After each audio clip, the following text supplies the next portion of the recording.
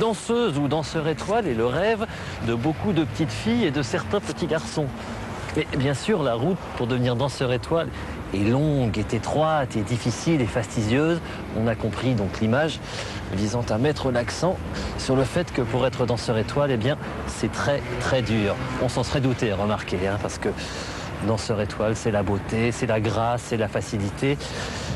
Et bien souvent, malheureusement, ce qui a l'air facile et naturel, eh bien, ne l'est pas du tout. Dans le prochain reportage, nous allons donc découvrir les coulisses de la formation des petits rats de l'Opéra de Paris. Regardez la préparation des futurs grands danseurs. Le rendez-vous.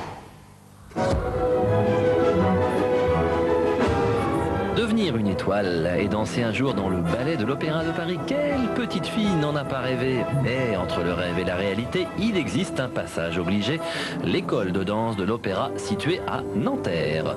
Pas facile de devenir un petit rat et encore moins de le rester. À peine une quinzaine d'enfants par an réussissent le concours d'entrée. En terminale, il n'en reste plus que 5 dans la course. La sélection est sévère et permanente, pas de relâche possible. Ici, rigueur et discipline sont de mise. Le talent ne suffit pas, mais tout a été prévu pour lui permettre de s'épanouir dans l'effort. Les journées d'un petit rat sont chargées et réglées à la minute près. Levé à 7 heures, il suit ensuite une scolarité normale dans la matinée. Mélodie, âgée de 12 ans, est élève à l'école de l'opéra depuis bientôt 4 ans.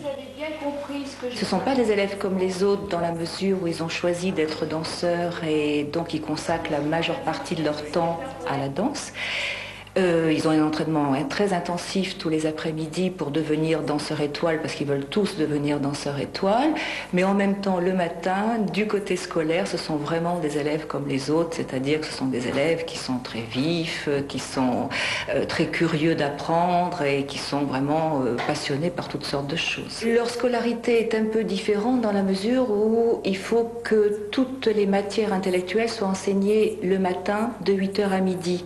Donc les cours sont euh, un peu réduits. Au lieu d'avoir des séquences d'une de 55 minutes, ils ont des séquences de 45 minutes. Ils ont pratiquement toutes les matières qui sont enseignées dans les autres collèges ou dans les autres lycées, mais ils font un cursus normal, ils passent le brevet, ils passent le baccalauréat comme les autres élèves. Seulement, c'est un baccalauréat littéraire. Ils n'ont pas le choix euh, aux sections économiques ou scientifiques. Qu'est-ce qu'on peut faire sur place pour que les actions continuent? Et les autres, est-ce que vous avez déjà vu cette petite main qui symbolise SOS Racisme. Quand on les interroge pour savoir quelles sont leurs motivations, ils disent un danseur ne doit pas avoir la tête vide, il faut qu'un danseur euh, ait de la culture. Ils sont très fiers d'avoir une formation culturelle.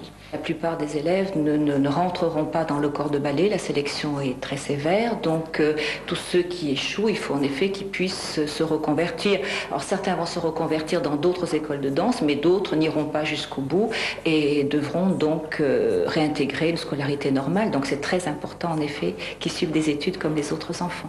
Le matin, le petit rat est donc un enfant comme les autres, mais dès midi, il redevient danseur. Le déjeuner à la cantine est rapide et équilibré. Pas question de s'alourdir l'estomac avant le cours de danse. 20 minutes plus tard, le vestiaire est bondé, difficile de se coiffer toute seule. Mais le chignon doit être parfait sans un cheveu qui dépasse. Mélodie, pourquoi, pourquoi est-ce que tu as envie de faire de la danse? Bah déjà, euh, j'ai commencé petite, très petite. J'avais 3 ans quand j'ai commencé, mais je faisais juste de l'initiation. Après, je suis rentrée ici. J'étais petite stagiaire. Je suis rentrée interne et au début, c'était très dur. Enfin, je pleurais. Enfin, c'était pas... Et j'avais un petit peu envie de démissionner. Puis après, vers la fin de l'année de petite stagiaire, bah, je me suis habituée et j'étais très contente en fait. Et puis là, euh, bah, toutes ces années-là, ça se passe très bien.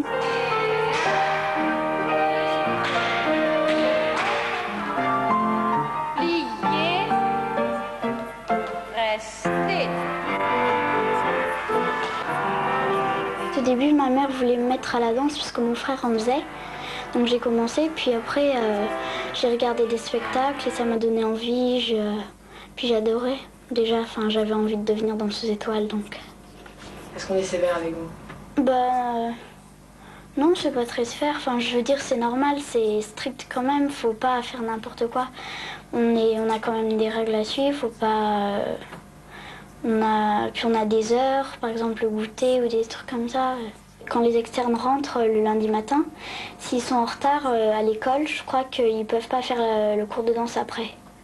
Et quoi de pire pour un danseur? Les cours de danse débutent à 13h sous l'œil impitoyable du professeur qui est lui-même passé par là, quelques années plus tôt. Chaque mouvement est étudié jusqu'à la perfection.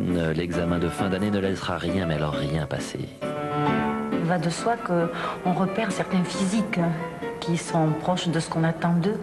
Mais euh, par contre, les filles, parfois à la puberté, ça change. Comme moi, ce sont des enfants qui ont 11 à 12 ans et demi.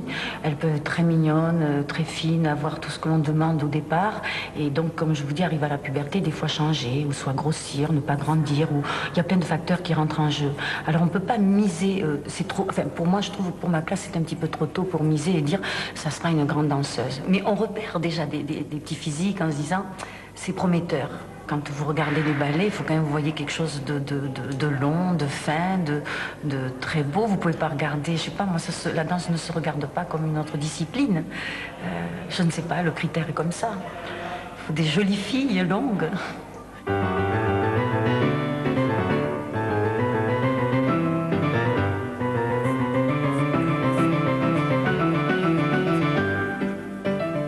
Une école d'élite, donc euh, on ne devrait pas leur dire, parce qu'au départ, ils doivent être bien. Mais il se peut que justement, en cours d'année, on s'aperçoit que nous avons fait erreur, qui ne correspond pas tout à fait à ce qu'on demande. Mais comme il y a un examen, en fait, c'est un jury qui décide, c'est pas nous, professeurs. Il y a quand même des conservatoires où on les accepte et où le critère n'est pas si difficile que nous. Donc, il y a des conservatoires. Euh, il y a bon, s'il veut vraiment continuer la danse, il peut aller dans des écoles privées. Si vraiment c'est sa motivation, pourquoi l'empêcher de continuer la danse?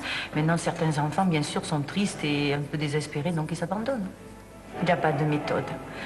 Je pense qu'il faut avoir euh, du talent, donc le physique déjà au départ, du talent, travailler énormément, et puis aussi, je crois, beaucoup de chance.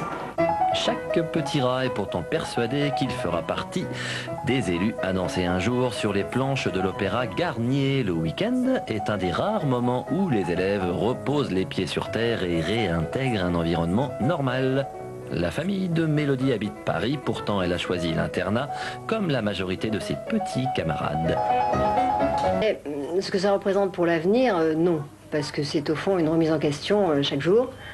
Euh, chaque trimestre et euh, chaque année, puisqu'il y a un concours à la fin de chaque année, et chaque année peut être ou une année de succès ou une année euh, avec peut-être un renvoi, on ne sait pas. L'école de danse de l'Opéra de Paris fut fondée par Louis XIV en 1713. Située alors sous les combles de l'Opéra Garnier, elle a déménagé à Nanterre en 1987. Seul l'internat est payant et coûte 9100 francs par trimestre.